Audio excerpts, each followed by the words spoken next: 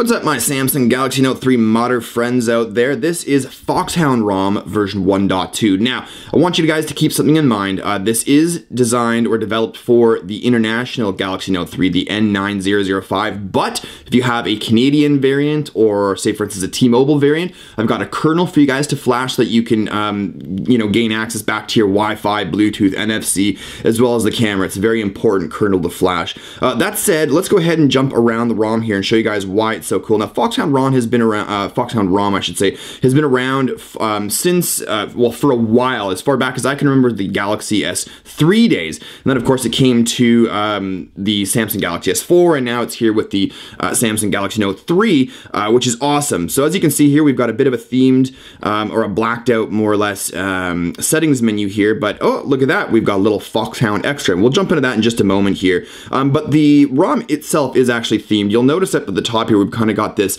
um, Kit Kat-like um, status bar colors, just basic black and white. And it even has, and you may be able to see, I'll bring it up a little bit closer to the camera, um, you might be able to actually see the battery percentage hidden underneath the um, already filled up battery icon there. Um, now, I don't know if that's because they pulled the files from 4.4 KitKat um, and put them in here, and if any of you guys have been following the news and bugs and things like that that, are, that uh, do exist in 4.4 KitKat, one of them is Google did in fact implement a battery percentage, but because the developers were, I don't know what the hell they were on that day, um, they actually ended up hiding it underneath the um, the actual battery uh, thing there. I don't even know what that, the battery icon on. So um, you have to enable. But anyways, long story short, the battery percentage is hidden underneath the battery icon. And once I drain it more, I'll probably be able to see the numbers. But at the moment, um, it's hidden. So that's something definitely they're going to have to work on. This is still sort of like the early stages of the ROM.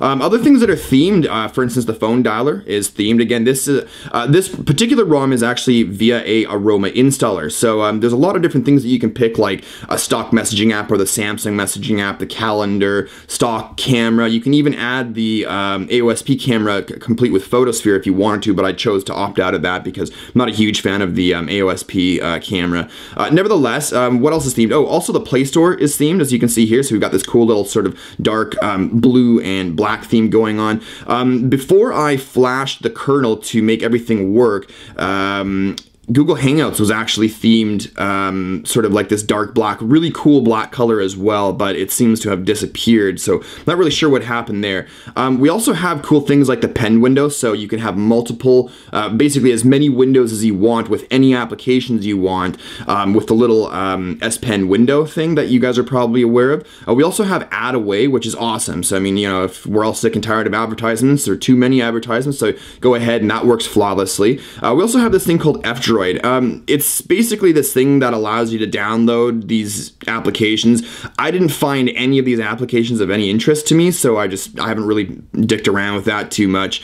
Um, and of course, we have FH settings, which I was showing you just before. And we do have an over-the-air update, though. When I try to update from Android, uh, Android, uh, when I try to update from Foxhound version 1.1 to 1.2, even though it gave me a notification in the status bar saying, "Hey, man, you know you've got an update waiting for you. Do you want to update now?" And I said yes. It would download a 31 megabyte file. So I don't know if it's just doing patch updates or if that was some sort of um, a bug where it was supposed to download something more, but it said, you know, um, you can down, the, it looked like it was downloading an APK to be honest with you. So I don't really know what was going on there. When I looked in my root directory, I couldn't find the file anywhere, not in the uh, Foxhound update folder or anything like that. So uh, I ended up just downloading it manually and installing. So just be aware of that if you guys are looking forward to over-the-air updates. It just didn't work for me. That said, it, it might work for you guys.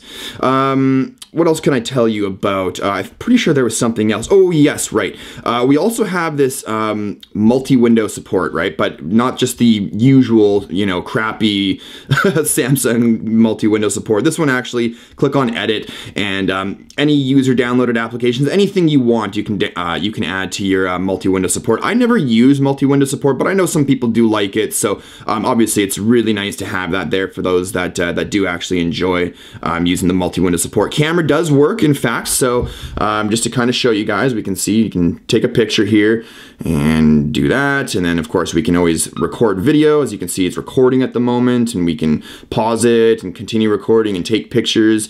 Um, those are features that I never use, but you know, I know some it's important to some people, so I figured I'd point that out. Um, don't ask about battery life yet because since flashing this new kernel, I, I don't have any experience with battery life. But again, it really all depends on, you know, your usage as a user. How much do you have your um, um, you know, what kind of settings do you have your kernel set up for and uh, things like that. Do you have data and Wi-Fi on all the time, etc. Um, so let's go ahead and jump into the meat and the magic of this particular. Oh, and by the way, of course, you can see that the uh, pull down, the quick toggles there are all themed um, black, blue, and white as well, which is pretty cool. So uh, anyways, let's go ahead and jump into Foxhound extras here. And this is where you're going to be making a lot of the magic happen. So of course, of course you have UI mods. Uh, you've got a difference between C, uh, C lock or clock, if you will. Thanks CyanogenMod for buggering up the name of of clock. Always confuses me. Anyways, uh, general mods. Um, and yes, for those of you that think I'm an idiot, I do know why they changed the name. How, you, you think I was born yesterday? Anyways, flash blink control so you can change this.